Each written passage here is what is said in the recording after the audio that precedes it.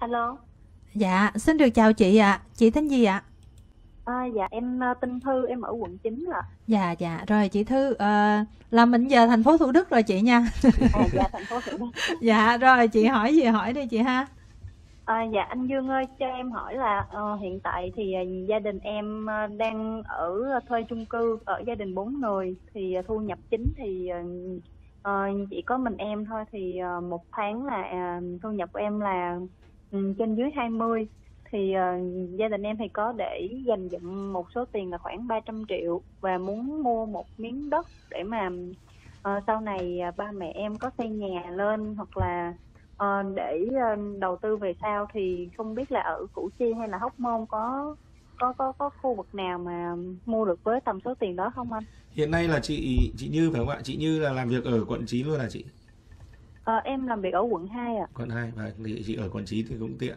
Ờ, vậy là chị ở cùng với ba mẹ và người thân hay ở với chồng con ạ? Dạ ở với ba mẹ và em trai ạ. Ở ba em trai như vậy là bốn người. Thì Dạ. ờm, coi như chị là thu nhập chính trong nhà. Dạ. Thế thì bây giờ đang thuê nhà. Đó, thuê nhà. Dạ. Thế thì tổng số tiền mà chị gom góp được bây giờ là 300 triệu phải không ạ? Dạ đúng rồi. Đó, thế thì đúng là chị cũng đang rất là gánh nặng gia đình, đang là gánh nặng vô cùng. Thì bây giờ theo em á thì là ở Hóc Môn thì nó cũng cao. Chị về Củ Chi thì ở Củ Chi bây giờ thì chắc là nếu mà chị mua ở phía trong trong bây giờ thì chắc khoảng 5 triệu mét có không?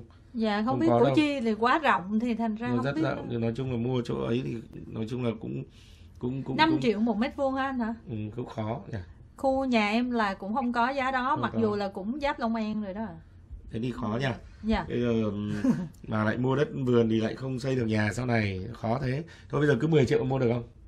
Dạ 10 không. triệu. Dạ, em không rành lắm. Rồi 10 triệu có thể mua được đấy. Nói thế chứ 10 triệu mà ở khu xa xa rất xa thì vẫn chắc là cũng không đến nỗi. Dạ. Thì 10 triệu thì chị 300 triệu được có 30 mét vuông mà không ai bán nhà nào có nhà nào 30 mét vuông đâu chị. Thường là nó nhà người là ta rộng lắm. trong mẫu mẫu à. rộng lắm cho nên muốn cắt ra thì theo em là được biết là quy định của thành phố Hồ Chí Minh nhá muốn tách được cái sổ mà thổ cư ra thì nó ít nhất là cũng phải 5 nhân với đâu ờ, 16 17 gì đó.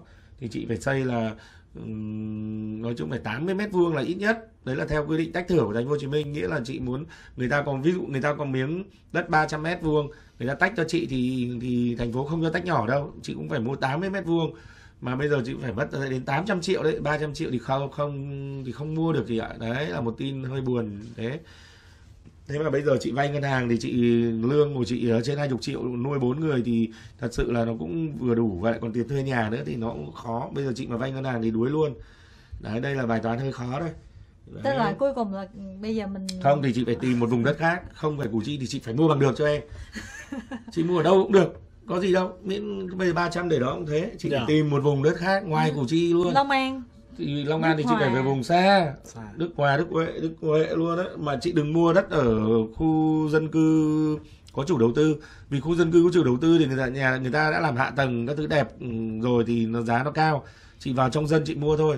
Chị vào trong dân chị mua thì chị chấp nhận mua ở vùng Đức Hòa ấy chị ạ đấy vùng Đức Hòa hoặc là lên nữa Đức Huệ thì xa quá nhưng mà thôi thì Đức Hòa nếu mà chị tìm đất trong dân thì chắc bây giờ 300 triệu cũng khó đấy nha. Không mà thật ra Đức Hòa qua Đức Huệ là có một cái đường đi rất là thẳng rất là tiện là đi từ từ Củ Chi đi qua luôn. À, thì đúng à, Đức Dạ. Huệ thì xa Đức Hòa một tí thế nhưng mà lên Đức Huệ thì đất nó thưa người nó vắng dạ. buồn. Thế nhưng mà nhưng mà vẫn phải mua chị ạ. Nếu không thì em không xin lỗi chị như là quê chị ở đâu ạ ở vùng nào ạ?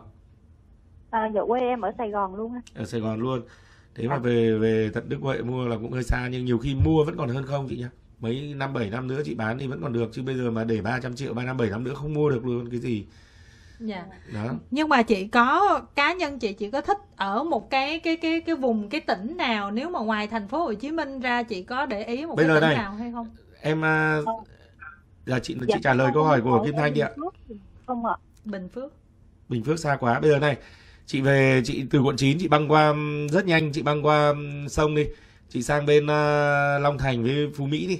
Bây giờ chị về cái vùng Phú Mỹ nó có Phú Mỹ nó có phường Hắc Dịch và phường Châu Pha à? À, một cái phường à, đại khái là chị về vùng thành phố Phú Mỹ mới nha.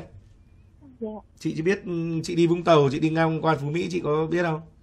Dạ biết ạ. Rồi, chị đến đấy, chị hỏi cho em ờ, một cái văn phòng bất động sản ở đấy, ở đấy em được biết á là nếu mà đất mà người dân người ta tự phân lô ra á, người dân người ta tự phân lô ra mà đất thổ cư á mà có đường xe ô tô đi được luôn á nhiều khi chỉ khoảng độ 5 năm 6 triệu một mét thôi. Vậy là 300 triệu của mét chị 300 triệu của chị là mua được uh, 60 mét vuông. Dạ. Đúng rồi. Dạ. Khoảng Dạ. 60 mét vuông là đẹp mà ở đấy trong tương lai cũng phát triển dạ đúng rồi đấy chị mua ở vùng đấy sau này khu công nghiệp các thứ nó lên khu đấy là rất nhiều dự án khu công nghiệp. Em được biết là khu công nghiệp công nghệ cao các thứ về đấy hết. Thì chị mua là đẹp chị nhớ nhé đất của chị chỉ phù hợp ở Phú Mỹ thôi. Bởi vì